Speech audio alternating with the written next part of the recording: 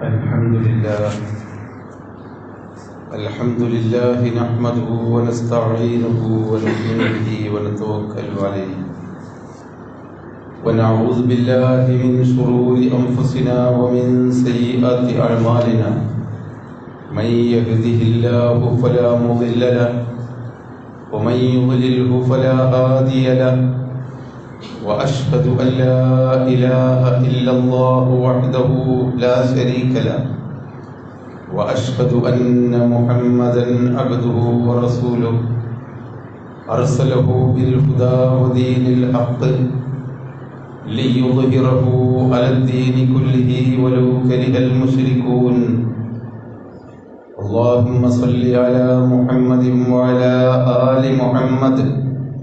كما صليت على إبراهيم وعلى آل إبراهيم. اللهم بارك على محمد وعلى آل محمد. كما باركت على إبراهيم وعلى آل إبراهيم. إنك حميد مجيد. أما بعد، فإن خير الحديث كتاب الله. وخير الهدي هدي محمد صلى الله عليه وسلم. وشر الأمور محدثاتها وكل بدعة ضلالة. أعوذ بالله من الشيطان الرجيم.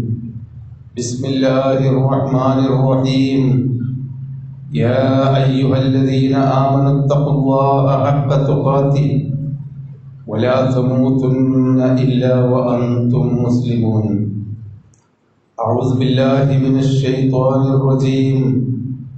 يا أيها الذين آمنوا اتقوا الله وقولوا قولا سديدا. يصلح لكم أعمالكم ويغفر لكم ذنوبكم. ومن يطع الله ورسوله فقد فاز فوزا عظيما.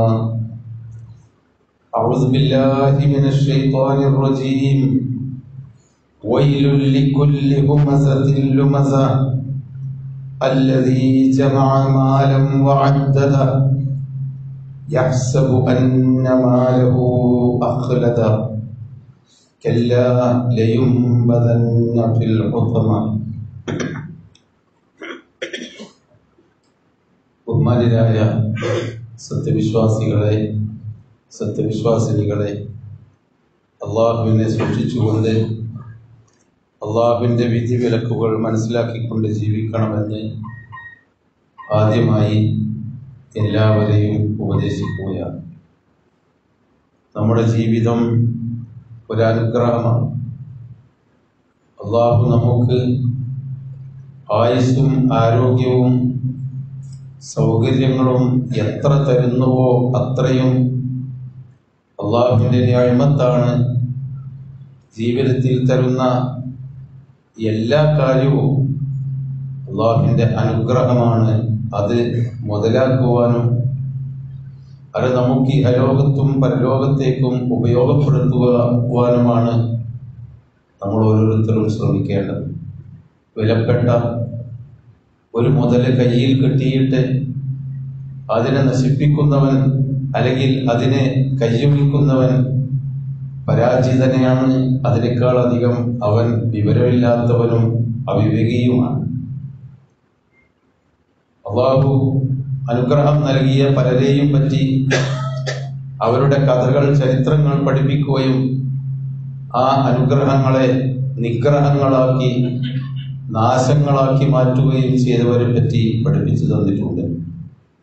അലം തറ ഇലല്ലദീന ബദ്ദലു യഅമത്തല്ലാഹി കുഫ്റ وأحلوا قومهم دار البوار جهنم يصلونها وبئس القرار അള്ളാഹു നൽകിയ നിയമത്തുകളെ കുഫറാക്കി മാറ്റുകയും തന്നെയും തന്റെ കുടുംബത്തെയും ജനങ്ങളെയും നാശത്തിലേക്ക് തള്ളി വീഴ്ത്തുകയും ചെയ്തവരെ നീ കണ്ടില്ലയോ അവർക്ക് നരകമാണുള്ളത് വളരെ മോശപ്പെട്ട ഭവനമാണുള്ളത് എന്നാണ് അതിന്റെ അർത്ഥം അള്ളാഹു നൽകിയ അനുഗ്രഹങ്ങളെ പറ്റി നമ്മൾ സൂചിപ്പിച്ചു. നമ്മുടെ അവയവങ്ങളും കണ്ണും കാതും അള്ളാഹു നൽകിയ അനുഗ്രഹങ്ങളാണ്. സോഷ്യൽ മീഡിയ സാമൂഹ്യ മാധ്യമം അള്ളാഹു നമുക്ക് ഈ കാലത്ത് നൽകിയ വലിയൊരു വലിയൊരു അനുഗ്രഹമാണ്.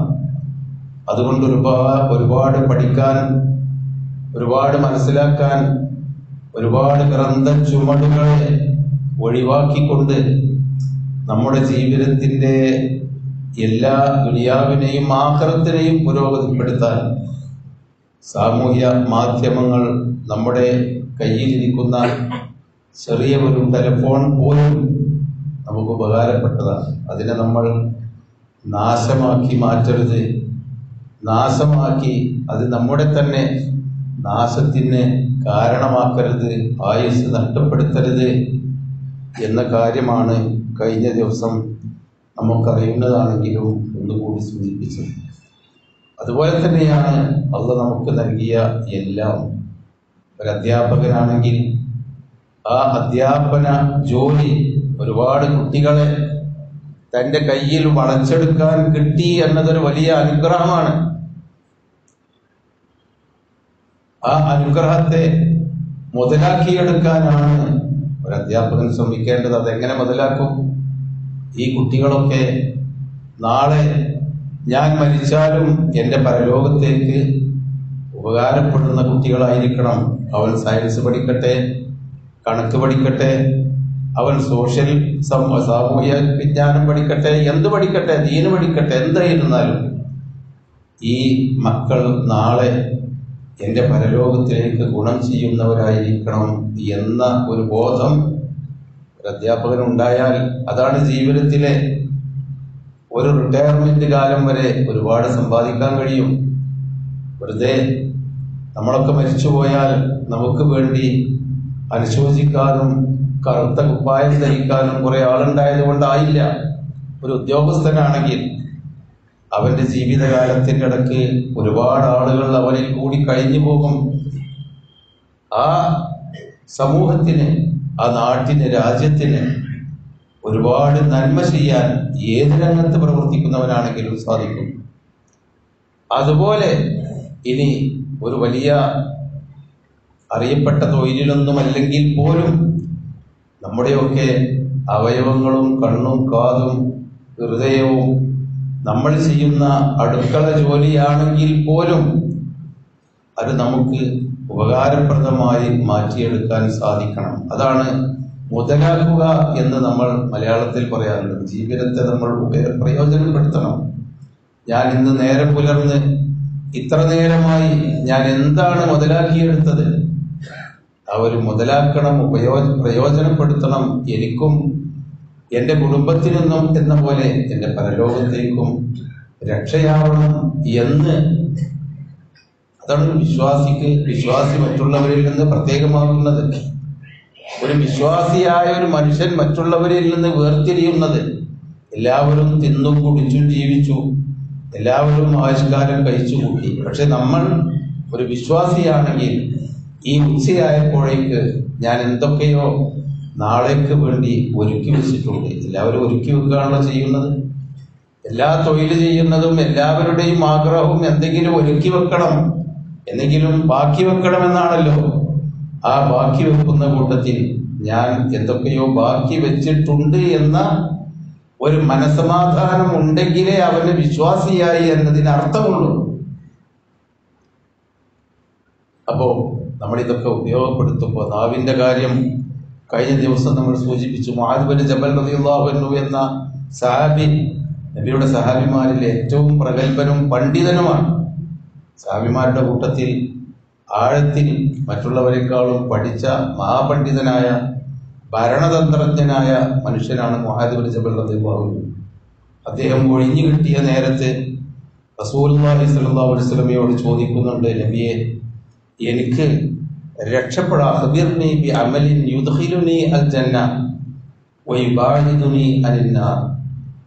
എനിക്ക് സ്വർഗത്തിൽ കടക്കാൻ പറ്റുന്ന നരകത്തിൽ നിന്ന് രക്ഷപ്പെടാൻ പറ്റുന്ന ഒരു പ്രവൃത്തി കാര്യങ്ങൾ എനിക്ക് പഠിപ്പിച്ചു തരണം. അപ്പൊ നമുക്ക് തോന്നും സ്വർഗത്ത് കിടക്കാനും നരകത്തിൽ നിന്ന് രക്ഷപ്പെടാനും ഒക്കെ പരലോകത്തിലല്ലേ? ഇവിടുത്തതല്ലല്ലോ. ഇവിടുത്തെ ചോദിക്കുന്നത്? ഞാൻ ജീവിച്ച് മരി മരിക്കുന്നത് വരെ നാളെ സ്വർഗം കിട്ടാവുന്ന തരത്തിലുള്ള പ്രവർത്തനങ്ങൾ എനിക്ക് നടത്തണം. എന്റെ ജീവിതം നന്നാക്കണം ധന്യമാക്കണം. ഇവിടെ എത്ര കാലം ജീവിച്ചാലും അദ്ദേഹം പിൽക്കാലത്ത് യമനിലെ ഭരണാധികാരിയായിട്ടുണ്ട്. സഹാബിമാർക്ക് എല്ലാ മതകാര്യങ്ങളും പഠിപ്പിച്ചു കൊടുക്കുന്ന മഹാനായ ഒരു പണ്ഡിതനായി മാറിയിട്ടുണ്ട്. നല്ലൊരു ഒരു രാജ്യതന്ത്രജ്ഞനായിട്ടുണ്ട്. അവ എന്റെ ജീവിതം നന്നാക്കി തരണം. ഒടുവിനെ സ്വർഗത്തിൽ കടക്കുന്ന ഒരു അവസ്ഥയിൽ എത്തണം. നരകത്തിൽ നിന്ന് രക്ഷപ്പെടണം. എന്താണ് ഞാൻ ചെയ്യേണ്ട അമൽ? അപ്പൊ സ്വാഭാവികമായും ഒരു സത്യവിശ്വാസിക്ക് പറഞ്ഞു കൊടുക്കേണ്ട അക്ക നബി അദ്ദേഹത്തിന് പറഞ്ഞു കൊടുത്തു. എന്ന് പറഞ്ഞാൽ അദ്ദേഹത്തിനോട് നബി പറഞ്ഞു മുആദങ്ങൾ ചോദിച്ചത് ഒരു വലിയ കാര്യം തന്നെയാണ്. ജീവിതം ഇവിടെയും നന്നാവണം അവിടെയും നന്നാവണം. അതിന് പറ്റിയൊരു കർമ്മമാണല്ലോ. വലിയൊരു പ്രധാനപ്പെട്ട കാര്യം തന്നെയാണ് തങ്ങൾ തങ്ങൾ ചോദിച്ചത്. അള്ളാഹ് മനസ്സിന് എളുപ്പമാക്കി കൊടുത്തിട്ടുണ്ടെങ്കിൽ അവിടേക്ക് എത്താൻ നിനക്ക് എളുപ്പമാണ്. മനസ്സ് നന്നാവണം. മനസ്സിൽ ഈ ആദി കാര്യങ്ങൾ ഉൾക്കൊള്ളാനുള്ള ഒരു മാനസിക സന്നദ്ധത തന്നിട്ടുണ്ടെങ്കിൽ രക്ഷയാണ്. ജീവിതം നന്നാക്കി എടുക്കാൻ സാധിക്കും. എന്നിട്ട് നബി അദ്ദേഹത്തിന് പറഞ്ഞു കൊടുത്തു നിസ്കാരത്തിനെ പറ്റി പറഞ്ഞു കൊടുത്തു നോമ്പിനെ പറ്റി പറഞ്ഞു കൊടുത്തു ദാനധർമ്മങ്ങൾ കൊടുക്കുന്ന സക്കാത്ത് കൊടുക്കേണ്ട കാര്യത്തെ പറ്റി പറഞ്ഞു കൊടുത്തു അതിന്റെ പുറമെയുള്ള ദാനധർമ്മങ്ങളെ പറ്റി പറഞ്ഞു കൊടുത്തു. അതുപോലെ കഴിയുമെങ്കിൽ രാത്രി എഴുന്നേറ്റ് നിന്ന് കുറച്ചെങ്കിലും നമസ്കരിക്കണം. അതൊരു വലിയ ജീവിതത്തിൽ മാറ്റമുണ്ടാക്കുന്ന കാര്യമാണ്. സ്വർഗം എന്ന് പറയുന്നത് പെട്ടെന്ന് കിട്ടുന്ന ഭാഗ്യമല്ല. അതിന് ഇവിടെ തന്നെ പണിയെടുക്കണമെങ്കിൽ ജീവിതം നിയന്ത്രിക്കപ്പെടണം. അതിന് രാത്രി നമസ്കാരം ഒരുപാട് നിനക്ക് ഉപകാരപ്പെടും. നല്ലൊരു മാർഗമാണ്. അത് പറഞ്ഞു കൊടുത്തു. അതുപോലെ തന്നെ ജിഹാദിനെ പറ്റി പറഞ്ഞു കൊടുത്തു. അങ്ങനെയൊക്കെ പല കാര്യങ്ങളും പറഞ്ഞു കൊടുത്തു. എന്നിട്ട് നബി അദ്ദേഹത്തോട് പറഞ്ഞു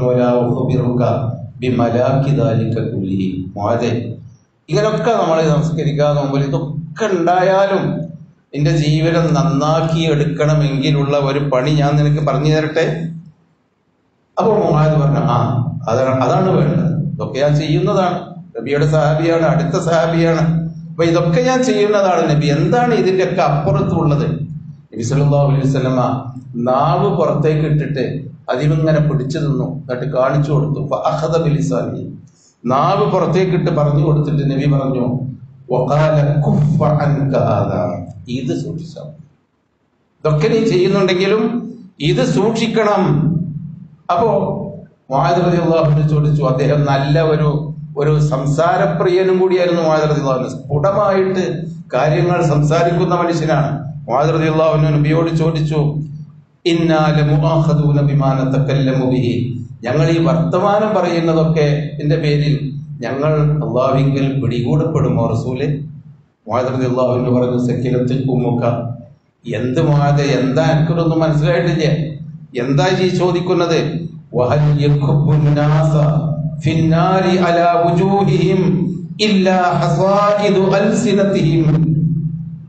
മനുഷ്യന്മാര് തലകുത്തി നരകത്തിലേക്ക് വീഴാൻ മൂക്കുകുത്തി എന്നൊരു ഹദീസിൽ വേറെയും കാണാം വേറൊരു റിപ്പോർട്ടിൽ ആളുകൾ മൂക്കുകുത്തി നരകത്തിൽ വീഴാനുള്ള കാരണം അവർ നിസ്കരിക്കാത്തത് കൊണ്ടോ നോമ്പൂൽക്കാത്തത് കൊണ്ടോ നോൽമ്പും സക്കാത്തും അതും മാത്രമല്ല മോഴതെ അവരുടെ നാവ് കൊണ്ട് കൊയ്തെടുത്ത കറ്റകളാണ് അവരെ നരകത്തിലാക്കുന്നത്.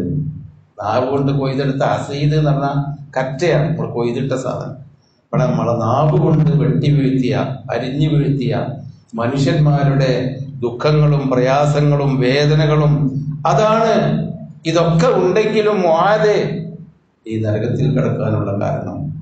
കഴിഞ്ഞ ദിവസം ഞാൻ സൂചിപ്പിച്ചു ആ നാവ് തന്നെയാണ് നമ്മളെ സോഷ്യൽ മീഡിയ എന്ന് പറയുന്നത്. അതൊരു ഒരു സാങ്കേതികമായി നമുക്കതിനെ നാവ് എന്ന് വിളിക്കാം. നമുക്ക് പറയാനും കാണിക്കാനും ചെയ്യാനും നമുക്ക് വിളിക്കാനും അധിക്ഷേപിക്കാനും എന്നാൽ നല്ലത് പറഞ്ഞു കൊടുക്കാനും ഒക്കെ പറ്റുന്ന സാധനമാണ് സോഷ്യൽ മീഡിയ അതോടൊപ്പം നമ്മൾ നാവും എല്ലില്ലാത്ത ഒരു ഒരു സാധനം ഏറ്റവും ചെറിയ ജീവിതത്തിൽ നബി സല്ലല്ലാഹു അലൈഹി പറഞ്ഞു മൻ ലീ മാ ബൈന വമാ ബൈന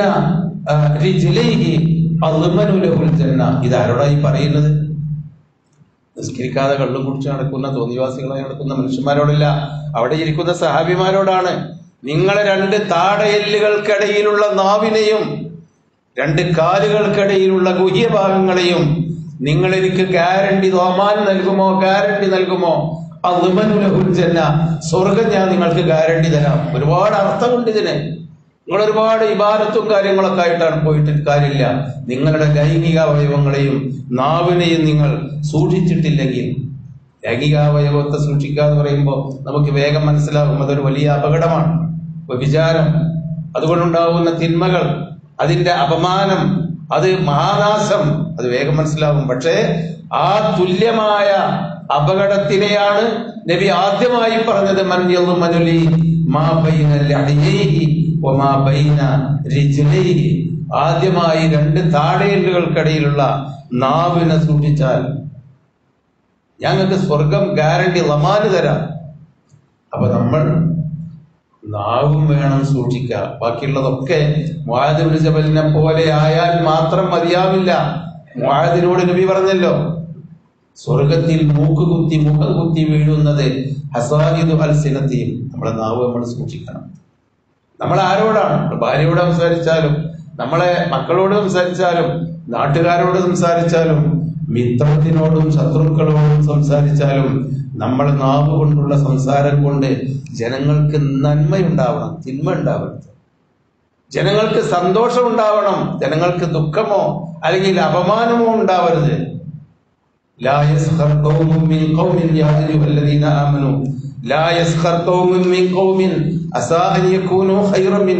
വിശ്വാസികളെ ആരും മറ്റൊരാളെ പരിഹസിക്കരുത്. കാരണം പരിഹസിക്കപ്പെടുന്നവരായിരിക്കാം നിങ്ങളെക്കാളും വലിയവർ നല്ലവർ ഹൈറ് പെണ്ണുങ്ങളെ മറ്റു പെണ്ണുങ്ങളെ നിങ്ങൾ താഴ്ത്തിക്കെട്ടരുത്. നിങ്ങളെക്കാളും ഒരുപക്ഷെ ഉടുപ്പിലും ഉടയാടയിലും അവരാരും അല്ല വലിയവരല്ലെങ്കിലും അവരായിരിക്കും അള്ളാഹുവിന്റെ നിങ്ങളെക്കാളും ഹൈറ് എന്നിട്ടോ?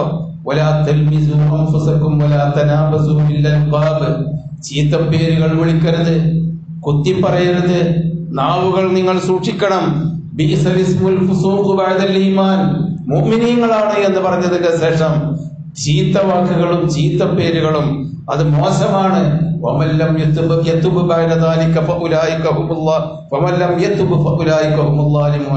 ആരെങ്കിലും ഇത്തരം ദുസ്വഭാവങ്ങളിൽ നിന്ന് തിരിച്ചു വന്നിട്ടില്ലെങ്കിൽ അവനെ പറ്റിയാണ് അക്രമി എന്ന് ഖുർആൻ വിളിച്ചിട്ടുള്ളത്.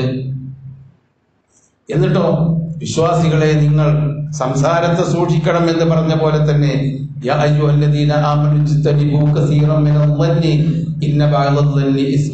അനാവശ്യമായ വിചാരങ്ങളും ഊഹങ്ങളും നിങ്ങൾ അകന്നു നിൽക്കുക അത് പ്രചരിപ്പിക്കാതിരിക്കുക അത് പറയാതിരിക്കുക അത് കേൾക്കാതിരിക്കുക അതിന്റെ വാഹകരാവാതിരിക്കുക.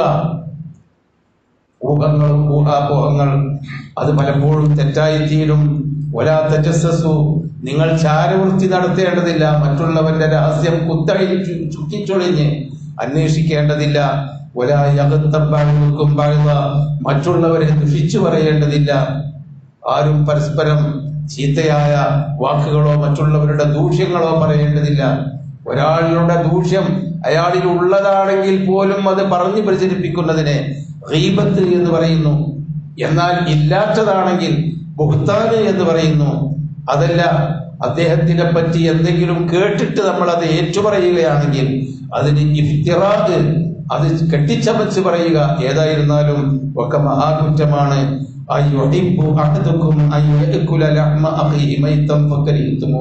നിങ്ങളുടെ സഹോദരൻ മരിച്ചു കിടക്കുമ്പോ ആ സഹോദരന്റെ മാംസം കടിച്ചു തിന്നുന്നത് നിങ്ങൾക്ക് ഇഷ്ടമില്ലല്ലോ വെറുപ്പല്ലേ? അതുപോലെയാണ് അവൻ ജീവിച്ചിരിക്കുമ്പോൾ അവനെ പഴി പറയുന്നതും അവനെ പറ്റി വേണ്ടാത്തത് പറയുന്നതും അങ്ങനെയൊക്കെ ഖുർആൻ മനുഷ്യന്റെ നാവിനെ വളരെയധികം സൂക്ഷിച്ചത് കാണാം. നാവ് അവയവങ്ങൾ ഒരു ഉപമ പറയുന്നുണ്ട്. അവയവങ്ങൾ നേരം വെളുത്താൽ ഇത് അസ്ബഹബിനു ആദം. ഒരു മനുഷ്യൻ നേരം പുലർന്നാൽ ഫൈനൽ മനുഷ്യന്റെ എല്ലാ അവയവങ്ങളും അവന്റെ ബുദ്ധി അതാണ് വലിയ ഒരു അവന്റെ ഒരു അവയവം.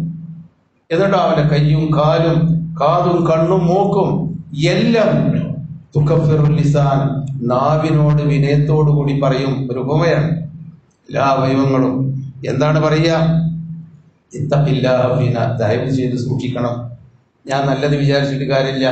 ഞാൻ സുജൂര് ചെയ്തിട്ട് കാര്യമില്ല. ഞാൻ നല്ല കാര്യത്തിന് വേണ്ടി എന്റെ കൈകൊണ്ട് നല്ലത് ധർമ്മം ചെയ്തിട്ട് കാര്യമില്ല. ഞാൻ പട്ടിണി കിടന്നിട്ട് നോമ്പ് നോറ്റിട്ട് കാര്യമില്ല. നാവേ നിങ്ങൾ എന്നെ സൂക്ഷിക്കണം. ഞങ്ങളുടെ കാര്യത്തിൽ നിങ്ങളൊന്ന് സൂക്ഷിച്ച് നടക്കണം. സൂക്ഷിച്ച് വർത്തമാനം പറയണം. ബിക. ഞങ്ങളുടെ നിലനിൽപ്പ് നിന്നെ കൊണ്ടാണ് നാവിനെ കൊണ്ടാണ്. നാവേ നീ നേരെയാണെങ്കിൽ ഞങ്ങളൊക്കെ നേരെയാകും. ഈ ഭാരത്തൊക്കെ ഗുണം കിട്ടും. നീ വളഞ്ഞു പോയാൽ യഴുവചന ഞങ്ങളും വളഞ്ഞു പോകും. അതാ റളിയല്ലാഹു പറയുന്നത്. അലൈഹി വളരെയധികം നമ്മളൊക്കെ ഈ സാമൂഹ്യ ബന്ധങ്ങൾ വളരെ കൂടുതലുള്ള ആളുകളാണ്. ഒരുപാട് സാമൂഹ്യ ബന്ധമാണ്. എല്ലാവരേറ്റും നമുക്ക് പരിചയമുണ്ട്. എല്ലാരോടും നമുക്ക് ഒരുപാട് പറയാനുണ്ട്. നമ്മൾ നമ്മളെ നമ്മുടെ അവയവങ്ങൾ അലാക്കത്താണ് നമ്മളെ കയ്യിലിരിക്കുന്ന ഒരു ഫോണ് അള്ളാഹുമായി നേരെ ബന്ധമുണ്ട് എന്ന പോലെ നമ്മളെ കയ്യും കാലും അവയവങ്ങളും ഒക്കെ അള്ളാഹുവുമായി കണക്ട് ചെയ്തിട്ടായിരിക്കണം നമ്മൾ ജീവിക്കണം. സോഷ്യൽ മീഡിയ പഠിച്ചവനായിട്ട് കണക്ട് ചെയ്തിട്ട് വേണം നമ്മൾ ഉപയോഗപ്പെടുത്താൻ. നമ്മളെ നാവ് അള്ളാഹുമായിട്ട് കണക്ട് ചെയ്യണം. അള്ളാഹുമായി ഇതിന് ബന്ധമുണ്ട്. നമ്മുടെ ഈമാനുമായി ബന്ധമുണ്ട് നമ്മുടെ സംസാരം. ബിൽ സഹത്തില്ല ലാ ജഹന്നം. ഒരു മനുഷ്യൻ അങ്ങനെ അശ്രദ്ധമായിട്ട് ഇങ്ങനെ പറയും. പ്രധാനം പറയുന്ന കൂട്ടത്തിലും ഏ തമാശ പറയുന്ന കൂട്ടത്തിലും അങ്ങനെ അങ്ങനെ പറയും. അവനത്ര ശ്രദ്ധിക്കൊന്നുമില്ല. ഇതൊരു വലിയ തെറ്റാണെന്നൊന്നും. പക്ഷേ യഹുവാബിഹാഫി ജഹന്നം. അതുകൊണ്ടായിരിക്കും അവൻ ആ നരകത്തിൽ വീണ് പോകുക എന്ന് പറയുന്നത് സഹോദരന്മാരുടെ സാമൂഹ്യ ബന്ധങ്ങൾ വലിയൊരു അനുഗ്രഹമാണ്. അതുപോലെ നമുക്ക് അള്ളാഹു നൽകിയ സാമൂഹ്യ ബന്ധങ്ങൾക്കുള്ള മീഡിയകൾ വലിയ അനുഗ്രഹമാണ്. അതിനേക്കാളും അനുഗ്രഹമാണ് മനുഷ്യനെ പറഞ്ഞിരുത്താൻ പറ്റിയ നമ്മുടെ നാവ്. ഇതൊക്കെ അള്ളാഹുമായിട്ട് കണക്ട് ചെയ്തിട്ട് ഉപയോഗിച്ചിട്ടില്ലെങ്കിൽ എല്ലാം അപകടത്തിലാകുമെന്നാണ് നമ്മുടെ വിശ്വാസത്തെ നമ്മുടെ ഇമാനിനെ നമ്മുടെ സൽക്കർമ്മങ്ങളെ നഷ്ടപ്പെടുത്താതിരിക്കാൻ വിശ്വാസത്തെ പിടിച്ചു നിർത്താൻ ശ്രദ്ധിക്കുക അള്ളാഹു അനുഗ്രഹിക്കുമാറാവട്ടെ.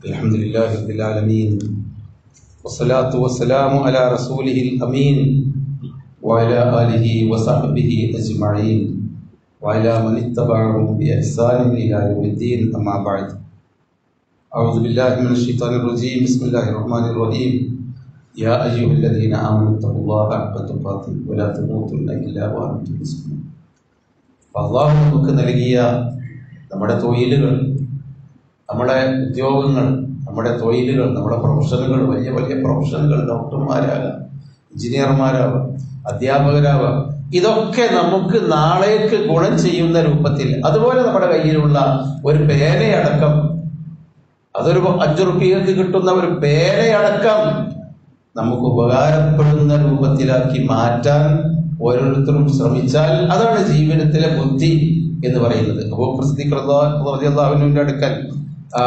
കൂട്ടുകാരായ ആളുകൾ ഒരിക്കലും ഒരു സൗഹൃദ സന്ദേശനത്തിന് വേണ്ടി ചെന്നപ്പോൾ അദ്ദേഹം എന്തോ ഒരു വിഷയത്തിലായിരുന്നു എന്തോ ഒരു പ്രശ്നത്തിലാണ്. അദ്ദേഹം നാവ് എടുത്ത് പറഞ്ഞു കൊടുത്തു അത്രേ നാവ് ഇങ്ങനെ കാണിച്ചിട്ട് പറഞ്ഞു അത്രേ.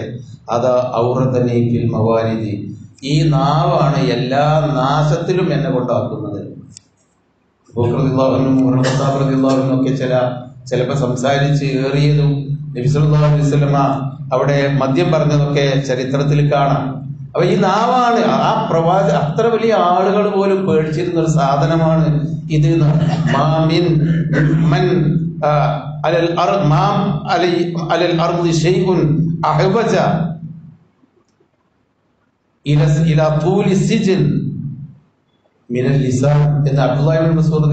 ജനങ്ങളോട് എപ്പോഴും ഉപദേശിക്കാറുണ്ട് നിങ്ങൾക്ക് ദീർഘമായി ജയിലിൽ കിടക്കാൻ നീണ്ട ജയിൽവാസം അല്ലെങ്കിൽ നീണ്ട നാശത്തിൽ കിടക്കാൻ നിങ്ങളെ നാവ് മതി എന്നാണ് ആ വാക്കിന്റെ അർത്ഥം. അതിന്റെ നാവ് മതി എന്ന്. അൻഹു നബിയോട് ചോദിക്കുന്നുണ്ട് ഒരിക്കൽ നബി മൻ നജാത്തു യാ എനിക്ക് രക്ഷപ്പെടാനുള്ള ഒരു മാർഗം പറഞ്ഞു തരും. അദ്ദേഹം നബി പറഞ്ഞു അംസിക് അലൈക ലിസാന. നാവ് സൂക്ഷിച്ച ആളാണ് നന്നായി സംസാരിക്കുന്ന ആളാണ്. അപ്പൊ നാവ് സൂക്ഷിക്കണം. അംസിക് അലൈക്ക ലിസാന നിന്റെ നാവ് നീ സൂക്ഷിക്കണം. എന്താ കാരണം?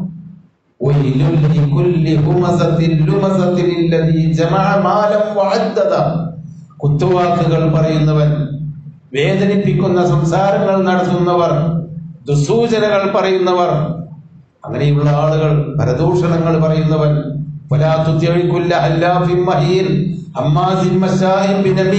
സത്യമായും സത്യം ചെയ്തുകൊണ്ട് സത്യം സത്യം എന്ന് പറഞ്ഞുകൊണ്ട് സംസാരിക്കുന്ന ആളുകൾ നീചന്മാരായ ഏഷണിക്കാരായ ആളുകൾ നബിയെ ഒരിക്കലും അവർക്ക് വഴങ്ങിക്കൊടുക്കേണ്ടതില്ല. സമൂഹത്തിൽ നിന്ന് അവരെ അകറ്റി നിർത്താനാണ് റസൂലിനോട് പറയുന്നത്. എന്താ? ആരാധി സംസാരം സംസാരിക്കുന്നവർ? മോശമായ സംസാരങ്ങൾ സംസാരിക്കുന്നവർ. അസംഗതിയുള്ളാഹുവിന് പറയുന്നത് കാണാം. ചെതലരിക്കുന്ന പോലെ ചിതലരിക്കുന്ന പോലെ നിങ്ങളുടെ വീട്ടിലും നിങ്ങളുടെ വസ്തുക്കളിലും ചെതലരിക്കുന്ന പോലെ നിങ്ങളുടെ നാവിനെ ചെതൽ തിന്നു പോകും നിങ്ങളുടെ സംസാരം. അതുകൊണ്ട് നമ്മൾ സംസാരം സൂക്ഷിക്കണം. മെഹറാജ് അലൈഹി വരാനിരിക്കുന്ന സ്വർഗവും നരകവും ഒക്കെ കാണിച്ചു കൊടുത്തപ്പോ നരകത്തിൽ കണ്ട ഏറ്റവും ഭീകരമായ ശിക്ഷ അനുഭവിക്കുന്നവർ ഒരു കൂട്ടരായിരുന്നു നബി പറഞ്ഞു. ഇരുമ്പ് കൊണ്ട് ഇരുമ്പ് നഖം പോലെ ഇരുമ്പിന്റെ നഖം പോലെയുള്ള വസ്തു കൊണ്ട് സ്വന്തം മുഖവും ശരീരവും മാന്തിപ്പറിക്കുകയും മുറിവേറ്റ് അതങ്ങനെ മാംസങ്ങൾ അതിങ്ങനെ കഷ്ണ കഷ്ണം കഷ്ണങ്ങളായി വീഴുമ്പോ വീണ്ടും അള്ളാഹു താല മാംസം കൂട്ടിക്കൊടുക്കുകയും അങ്ങനെ നരകത്തിൽ കിടന്ന് നിത്യ ദുരിതം അനുഭവിക്കുന്ന ഒരു കൂട്ടരെ കണ്ടപ്പോൾ നബി ചോദിച്ചു ഈ മഹാനിർഭാഗ്യവാന്മാരാരാണ് യാ ജിബിലി ജിബ്രിയിലെ എന്ന് ചോദിച്ചപ്പോ നബി സല്ലല്ലാഹു അലൈഹി വസല്ലമ പറഞ്ഞു ഈ മനുഷ്യന്മാരെ ജനങ്ങളെ വേദനിപ്പിക്കാനും ജനങ്ങളെ ചീത്ത വിളിക്കാനും ചീത്ത വർത്തമാനങ്ങൾ നാവ് സൂക്ഷിക്കാത്ത മനുഷ്യരാണ്. നാവ് സൂക്ഷിക്കാത്ത മനുഷ്യരാണ്. അപ്പൊ അതുകൊണ്ട്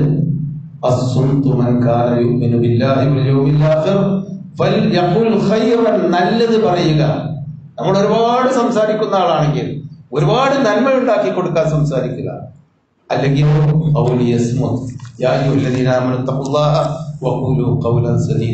വിശ്വാസികളെ അള്ളാഹുവിനെ സൂക്ഷിക്കുക. നല്ല വാക്കുകൾ മാത്രം നേരെ ചൊവ്വയുള്ള വാക്കുകൾ പറയുക. നമ്മുടെ നാവിനെയും മറ്റു അവയവങ്ങളെയും അള്ളാഹുമായി ബന്ധിപ്പിച്ചുകൊണ്ടായിരിക്കണം ഉപയോഗപ്പെടുത്തേണ്ടത്. അള്ളാഹു അനുഗ്രഹിക്കുമാറാവട്ടെ. അള്ളാഹു നമ്മിൽ നിന്ന് വന്നു പോയ തെറ്റുകുറ്റങ്ങൾ വിട്ടുപുറത്ത് മാപ്പാക്കി തരുമാറാവട്ടെ. എല്ലാ തെറ്റുകളും മനസ്സിലാക്കി പശ്ചാത്തപിക്കാനുള്ള മനസ്സ് അള്ളാഹു നമുക്ക് നൽകുമാറാവട്ടെ. നമ്മെ നിന്ന് മരിച്ചുപോയവർക്ക് അള്ളാഹു താര മഹഫറത്തും അർഹമത്തും നൽകി അവരെയും നമ്മുടെയും നാളെ ജന്നാത്തുൽ പ്രദോസിൽ ഒരുമിച്ച് കൂട്ടുമാറാവട്ടെ രോഗികളും കഷ്ടപ്പെടുന്നവരും ദുഃഖിങ്ങളും ദുഃഖിക്കുന്നവരുമായിട്ടുള്ള ആളുകൾക്ക് സമാധാനവും ശാന്തിയും നൽകി അവർക്ക് ശിഫയാക്കി കൊടുക്കുമാറാവട്ടെ ربنا آتنا في الدنيا حسنة وفي الآخرة حسنة وقنا عذاب النار ربنا تقبل منا إنك أنت السميع العليم وتب علينا إنك أنت التواب الرحيم آمین. برحمتك يا رب